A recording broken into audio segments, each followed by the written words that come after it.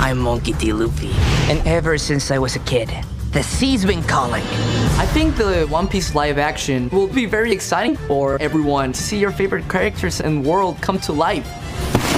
And for people who don't know this story, they can experience it for the first time. Stop talking and fight. One Piece is the most popular pirate adventure manga around the world. We're heading up to the Grand Line to find the ultimate treasure, the One Piece. And I will become king of the pirates. It's about adventure with our core group, the Straw Hats. This amazing found family. We haven't sailed together for very long, but we've got each other's backs.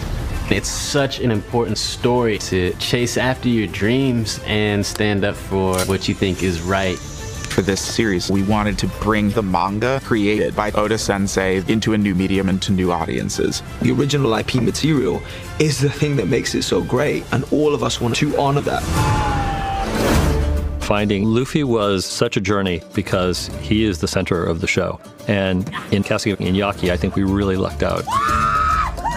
Monkey D. Luffy, he's a big dreamer. He's so cheerful and he loves adventure. I think we both share a lot of the same values. In this world, Luffy has the ability to turn his body into rubber. Gum gum! Wait!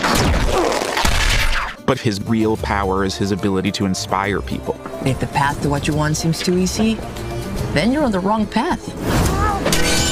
One Piece is very much a stunt driven show. Mackenyu comes with a style of his own already, very well versed at katana work.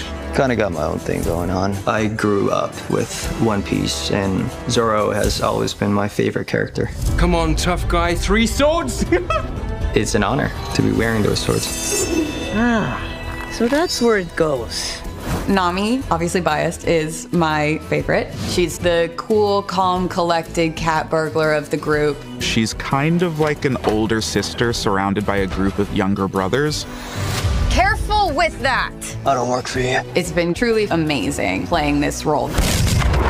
What's up? Fire back cat down! Or how about we sail away as fast as we can? Usopp is the sniper. He's the storyteller in charge of keeping everyone's spirits up. He does have a certain grace about him. Jacob is such a goofy person. It's almost effortless for him to transition into Usopp. Apologies, madam, I didn't see you there. Perhaps you'd like something sweet for someone sweet. Sanji is my favorite of the Straw Hats. He's a chef and cares very much about people. Playing Sanji, I had to learn how to cook and fight. And I was like, this is gonna be fun. But Oda-san has created this entire world that is so special and so unique. I think when the show airs, there'll be nothing like you've ever seen. Maybe we should skip right to the finale. I hope existing One Piece fans see the love that went into this. Oda Sensei and his team have been with us the entire time. That collaboration has birthed something really special. Now we're talking.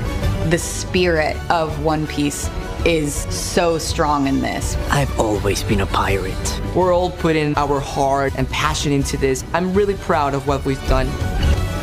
We're bringing the best parts of the manga to life. Nothing's gonna stand in our way!